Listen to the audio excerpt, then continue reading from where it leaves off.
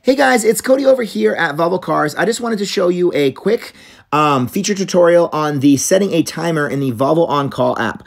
So this app is standard on all Volvo cars. So logging into the app, you will see right here where it says parking climate. I'll highlight it. It says 44 degrees of the vehicle. When you tap in on that, it shows you the parking climate. Now, if you had a hybrid, you can actually uh, set the climate so that it it kind of oscillates in between uh, whatever that range is.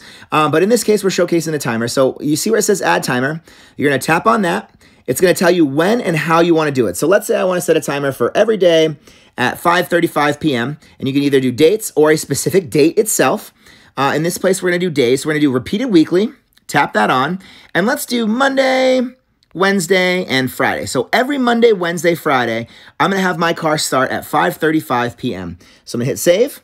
And now it's going to say setting parking climate timer. And as you can see here, there is a timer for 5.35 p.m. every Monday, Wednesday, Friday now set. You can do eight of those. This is a great feature to have, especially for those that have a very consistent schedule and know that they're maybe not that great at remembering to remote start the car, but they know they want it nice and toasty and or cool in the summer when they're going into their car. So that is a quick look at the timer setting feature in the Volvo On Call app. This is again standard on all Volvo On Call vehicles.